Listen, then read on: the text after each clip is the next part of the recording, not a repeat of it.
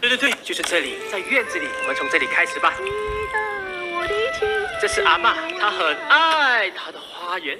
今年她特别不高兴，因为没人回来帮大嫂做煮年饭，除了